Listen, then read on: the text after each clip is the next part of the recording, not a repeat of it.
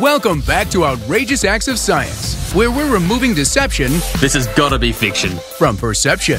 Before, after. Prepare to be astronomically astounded by number nine.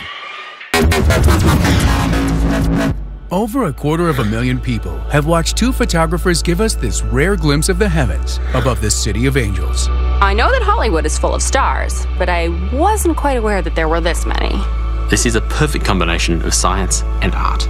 We caught up with photographic duo Gavin Heffernan and Harun Mehmedinovic in the hills above LA to find out more about their astronomical artistry.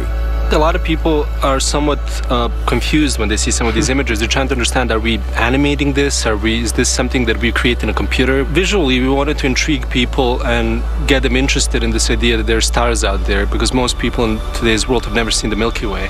So, why don't we normally see this amount of stars over LA?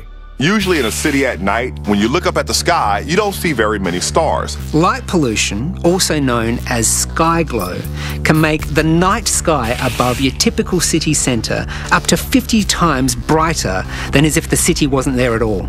And this background light comes from the city itself. In a moonless sky, far from the light pollution of a city, the human eye should be able to see anywhere between 2,500 to 4,500 stars. So, in the city of LA, officially, according to astronomers, you can see about 7 to 12 stars depending on where you're at.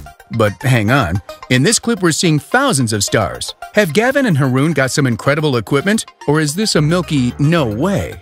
Unfortunately, there's not much stargazers can do about this sky glow. There's no telescope that can cut through, and there's no fancy magical machinery that can do this. So obviously, this clip must be a fake.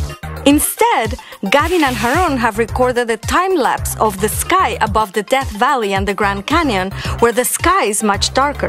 They've taken that footage and they've used it to replace the polluted night sky over LA. It's a lie, but it's a beautiful lie. The only real cheat with this is the compositing.